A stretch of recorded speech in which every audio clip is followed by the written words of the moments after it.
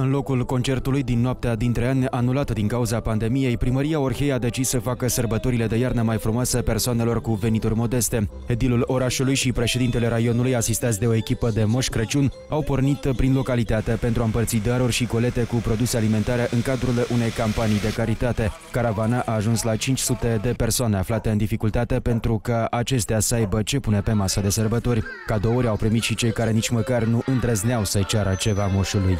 Este bine să dăruim, este bine să încălzim inimile celor care au nevoie și nu sunt puțini. Atunci când dăruim din toată inima, să știți că Bunul Dumnezeu ne va întoarce înzecit.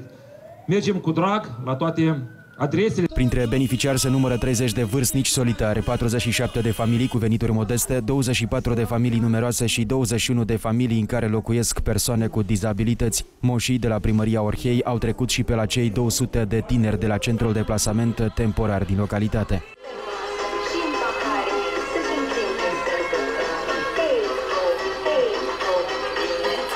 Este sărbătoare pentru noi ca să vedem atâția moși Crăciun în mijlocul nostru, că de obicei îl avem doar unul pe an. Nu m-am așteptat, adică așa ceva n-am văzut niciodată și sunt foarte mulțumitoare pentru aceste cadouri, adică e ceva un gest plăcut.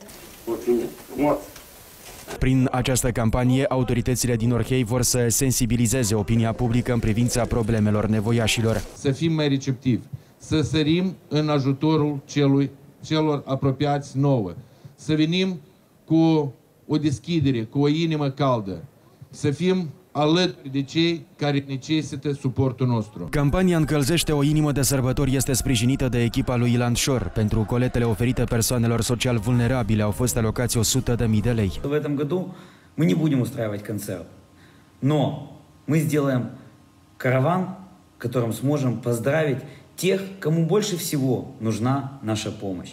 Мы поздравим семьи, которым сложно жить. Мы поздравим людей, которым тоже хочется хорошо отпраздновать Новый год, но, вероятно, им сложнее, чем другим. Organizatorii campaniei promit că vor continua proiectul și.